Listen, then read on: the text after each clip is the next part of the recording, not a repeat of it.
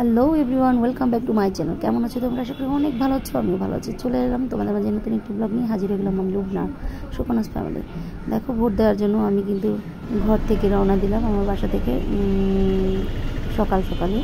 তো bus stand গিয়ে বাসে উঠেই আমি বাড়ির উদ্দেশ্যে রওনা দিলাম। বাড়ির কাছেই আমার যেহেতু ভোট গ্রামে, তো ওখানের জন্য যাচ্ছি। আর ওদের মধ্যে কিন্তু খুব বোরিং লাগছিল, ভালো লাগছিল না। তোমাদের লাইভ দিয়েছিলাম আমি, দেখেছি অনেকে। তো চলো সম্পূর্ণ ভিডিওটা দেখতে থাকো। একা একা বসে যাচ্ছিলাম, ভালো লাগছিল না, মনটা খুব অস্থির ছিল, কারণ ছেলেটাকে বাসায় রেখে গেছি। এভাবে একা একা কখনো যাওয়া হয়নি। যেতে যেতে কিন্তু আমি অনেক শর্ট ভিডিও এই সেই বানালাম, তোমাদের মাঝে তাও শেয়ার করেছি। আশা করি তোমাদের ভালো লেগেছে। তো এভাবে করতে করতে কিন্তু আমি বাড়ির কাছে চলে এসেছি, দেখো। আর আমাদের এখান যেতে দুটো নদী পার হতে হয়।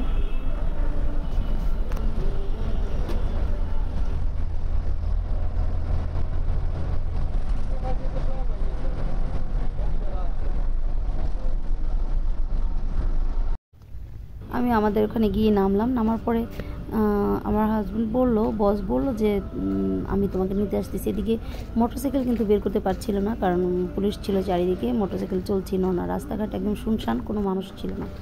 তো এর মধ্যে চলে আসছে আর আমি বাইকে করেই বস আমার নিতে ভয়ে ভয়ে পুলিশ চলে এলো এই বুঝি ধরে ফেলে। তো এসে গেলাম পৌঁছালাম আমরা অফিসে অফিস থেকে আমরা তোমার ইয়েগুলো একটু ডেভেলপ করলা না।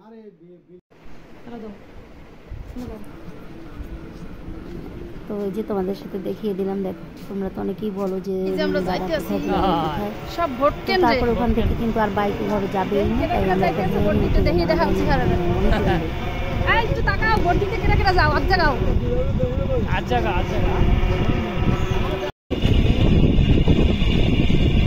খুব ভালো লাগছিল এখানে রোদ ছিল গরম ছিল তার কিছু এনজয় তো আছে। এখন আর বোরিং ভাবটা ছিল না।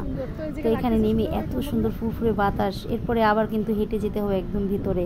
তাই আমরা দুজনে মিলে যাচ্ছিলাম আর জিজ্ঞেস করছিলাম, আমি কিন্তু জানিও না।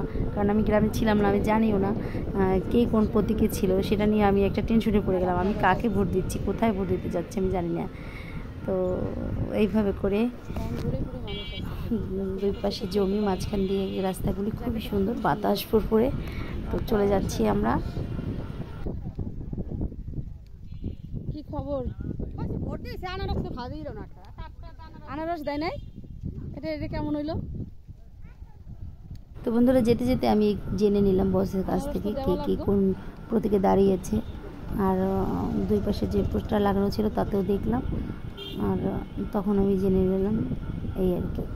তো ভালোই লাগছিল ভোট দিতে যাওয়াটা আমার কাছে কিন্তু একটু আনন্দই লাগে। যদিও গরমের খুব কষ্ট ছিল সবাইকে দেখলাম খুব কষ্ট হচ্ছিল সবার। রোদ। প্রচুর তাপ আর গরম তীব্র। তার মধ্যে দিয়ে কিন্তু সবাই আনন্দ সহকারে এসেই ভোট দিয়ে যাচ্ছিল।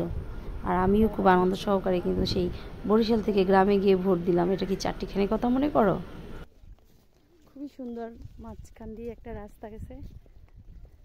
বরিশাল থেকে ভোটটা দিতে এলাম। এখন এর বেনিফিট কি হয় তোমার দোস্তকে কইছো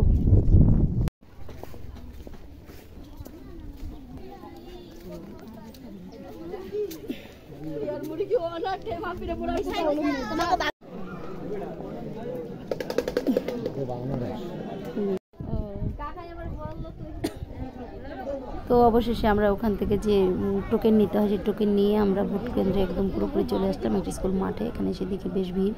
এখন আমি তো অনেক ভিড় পিছনে দাঁড়াতে হবে আমাকে, তো টেনশনে পড়ে গেলাম, যেমন রোদ, তেমন কষ্ট হলো জার্নি করে গেলাম। এখন আমি এতক্ষণ এখানে দাঁড়িয়ে থেকে কি করে দিব তো এক পর্যায়ে আমার কিন্তু গ্রামের মানুষরা যখন আমাকে দেখল আমাকে বলল ঠিক আছে তোমাকে দাঁড় করিয়ে দিচ্ছি, তুমি আমাদের সামনে চলে যাও। ওরা যে লাইনটায় দাঁড়িয়েছিল, ওই লাইনের সামনে আমাকে এই যে এই মেয়েরা এবং আমার বাড়ির গ্রামের ভালোবাসা, প্রত্যেকে আমাকে অনেক ভালোবাসে, সবাই ওদের একদম সামনে আমাকে দাঁড় করিয়ে দিল। আমি কিন্তু একদম প্রথমেই ওদের, প্রথমে গিয়েই আমি ভোটটা দিতে পেরেছিলাম, তবে পুলিশের সাথে কিন্তু আমার একটু ঝামেলা হয়েছিল। মানে ওরা চাচ্ছিল না যে আমি সবাইকে ফেলে সামনে চলে যাই, আমাকে অনেক ইঙ্গিত করে এই সেইভাবে অনেক কিছু বলছিল। আমিও তাদেরকে ছেড়ে দিইনি, বলেছি আমি যে তুমি পুলিশ হয়ে তোমাদের একদম সাহস নেই কেন? আমাকে সামনে এসে বলো, আমি অবশ্যই পিছনে চলে যাব। তো বলেনি তো আমি শেষ পর্যন্ত ভোট সুন্দরভাবে দিয়েই বাসায় চলে গেছিলাম। তো আমি কিন্তু আবার ভোট দিয়ে বাসায় গিয়ে দুপুরে খাওয়া দাওয়া শেষ করে আমার শাশুড়ি মা রান্না করল, খেয়ে দিয়ে আমি আবার বরিশালের উদ্দেশ্যে রওনা করে চলে এসেছি তো আসার পথে দেখো আমি বাড়ি থেকে এতগুলি মাছ, আম, কাঁঠাল সব কিছু নিয়েই কিন্তু আমি ফিরেছিলাম মাছ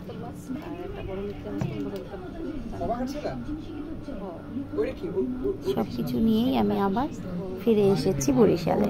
তো এই ছিল আমার আজকের ব্লগটি। আশা করি তোমাদের ভালো লেগেছে। অবশ্যই লাইক কমেন্টস করে দিও। ভালো লাগলে অবশ্যই সাবস্ক্রাইব করো এবং ফ্রেন্ডস অ্যান্ড ফ্যামিলির মাঝে শেয়ার করে দিও। Thank you thank you for watching এক লাখ লাভ মতো।